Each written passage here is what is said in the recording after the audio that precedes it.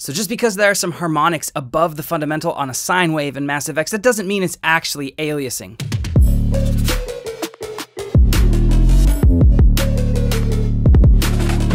Hey guys, this is Shane here from Echo Soundworks, and in this video, I'm going to touch on what's kind of become a controversial topic surrounding Massive X. I don't know why. There's some videos, some misinformation out there claiming that Massive X aliases. So I have a first look video, which I'll link to in the description, where I run through Massive X. Overall, I think it's a great synth. There are some things that Native Instruments can improve on, but that's literally every synth out there, especially the first release or first version, right? The 1.0 of a synth. So what I want to touch on in this video is the aliasing. Now, what I what I found interesting about this was, for me, the first time I used Massive X, the sound was great. It had a great sound quality. It might have I might have been missing a couple features that I grew to love in other synths, but it sounded great. The wavetables sounded good. Just the actual sound quality of the synth itself sounded really good. Now, that doesn't actually make any sense because people are saying, well, it's aliasing. If you have an aliasing synth, it's usually going to produce some type of artifact that is noticeable to our ears. It's going to sound a little weird, a little wonky, a little off. So, in this video, I'm going to show you Massive X A isn't aliasing, and B, even if it were, we have complete control to stop the aliasing that isn't occurring. So let's dive into Massive X and see what's going on. All right, so the first thing I want to get out of the way right up front is Native Instruments did not ask me to make this video. They didn't sponsor it. There's no money exchanging hands. I'm literally making this because I want to dispel some misinformation that's being perpetuated online about Massive X not having a pure sine wave and aliasing. So to do that, we need to have an understanding of aliasing. Well, that's an entire video on its own.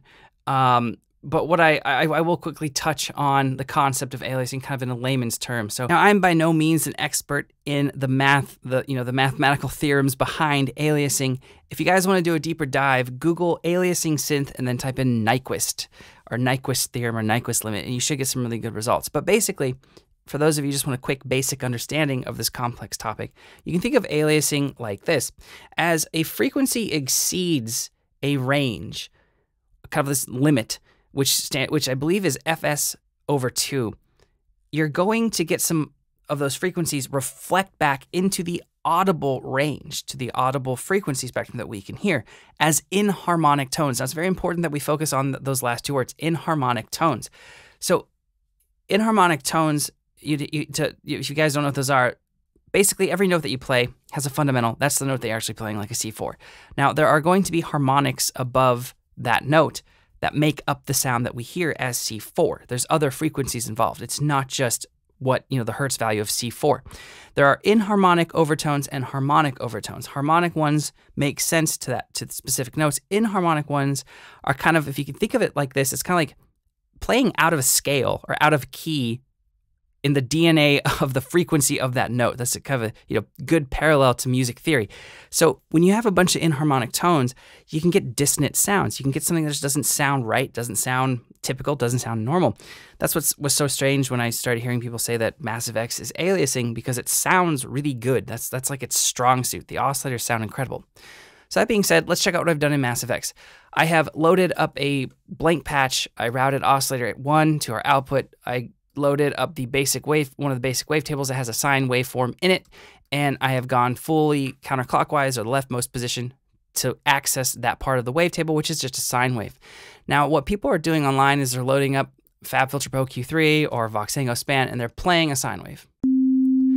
And what they're doing is they're seeing these little frequencies right here, and they're saying, oh, that's proof that Massive X is in fact aliasing. Well, no, because these are harmonic tones. So this is an aliasing because this is the harmonic series that you would expect with a C4. So I'm playing our with the middle C. So I'm playing middle C. So our first one is a G5. G5 is the third harmonic above C, uh, above C4. E6, I believe, is our fifth harmonic. I'm not sure what A sharp 6 is, but I know it is, in fact, a harmonic. So these aren't inharmonic tones. All right, so let's load up Serum, our dear old friend Serum, and actually look at what aliasing looks like and sounds like. So you're thinking, what? Serum aliases? Well, not really.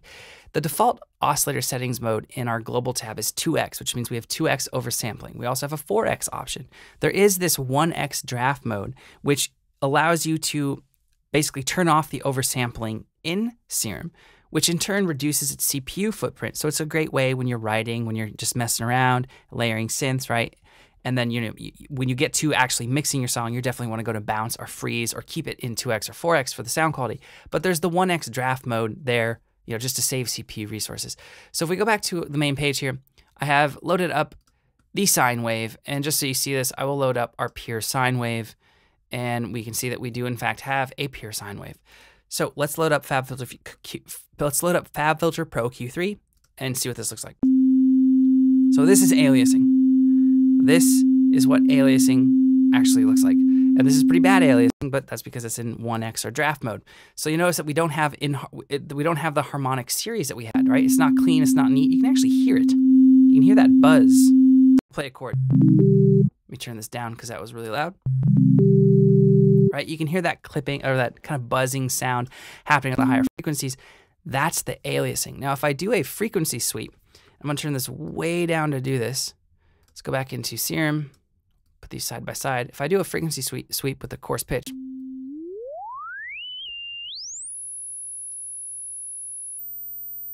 right, you'll notice that we we hit a point. I don't know how many of you can even hear that. I'm going to mute that while I play that but we'll still be able to see the frequency spectrum. So here's this is our fundamental, it's way up there, and you see all these frequencies below it. Well, we shouldn't obviously have that. We're playing in A9, so why are there frequencies down here? You know, the A0 range, right? Well, that's because the frequencies are reflecting back across the spectrum. So that being said, let's look at let's look at Massive X when I do that. We're going to load up Massive X. We're going to load up FabFilter Pro, FabFilter Pro Q3. I don't know why I can't say that today. And what I'm going to do is I'm going to sweep through our spectrum. So I need to make, Massive X a little bit smaller so we can see both of these at the same time. That should do the trick. All right, so now I'm going to sweep up through our frequency spectrum. All right, you'll notice that up at the top, and I'll even modulate up through with a pitch mod, right? So we're, we're going to be able to actually pitch up pitch this up so high we'll stop hearing sound right? So if this was actually aliasing, we'd see a bunch of frequencies bounce back in and we'd hear those frequencies as like this weird static. All right, so one thing I want to touch on, there are a lot of synths out there, subtractive synths that don't actually have pure sine waves. A Moog is one of those. A lot of the Moogs don't have a pure sine wave. So this is a synth made by Synapse Audio called the Legend. Incredible synth, doesn't have a sine wave. But because it's a subtractive synth, we can just load up a square wave or a triangle and filter out some of the frequencies to approach a sine wave because sine waves are the building blocks of pretty much every every sound. Now, if I play this right here and we look at our FabFilter Pro Q3, right, we have a lot of frequencies over it, but if I turn my my cutoff filter down, the the filter cutoff, I should say, right? Well, now we have kind of a sine sound, and you'll see that we actually have, so I'll play middle C again, just like with our massive example. We actually have the same harmonics. We can see that we have G, G5. Down here, we can actually see E6 happening. If I turn our filter up a little bit, the E6 will pop back up a little bit higher. So those are in fact harmonics. They're not, you know, they're not uh, aliasing. Now, the reason why I'm bringing this up is because subtractive synths are meant to subtract frequencies. It's what they do. Is literally why they're called subtractive synths. Now, Massive X actually has a really cool feature. It actually has a filter in our oscillator section, which allows us to filter out harmonics directly at the oscillator, so you don't have to do that very thing with our actual main filter. It's this filter knob right here. So if you want to, you know, use a very clean, pure sine wave in Massive X, and the harmonics are bugging you, what you can do, just turn this filter down. Right? Now, the great thing about this filter, why I said it's special, is we don't lose any of the power, any of the oomph of our fundamental. So I'm, I'm going to pitch this up an octave. Right? So we have a clean, pure sine wave, no harmonics. Here's the harmonics. Right? What's special about this filter is it's just filter it's just filtering out the harmonics. If we did the same thing with a low pass filter, and we'll load up the low pass filter in massive for this. Just, it'll, it'll work the same pretty much every synth. Right, we see our high, we see our fundamental, we see our harmonics. Check this out.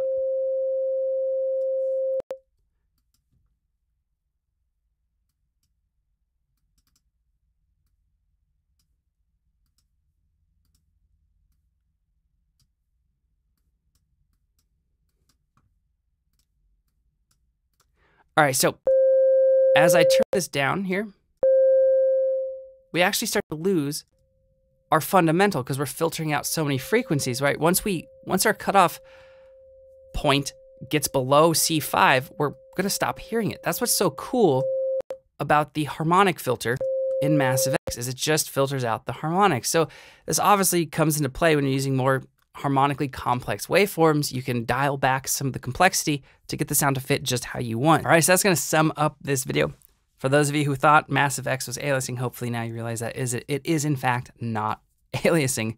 That sine wave just has some harmonics above the fundamental.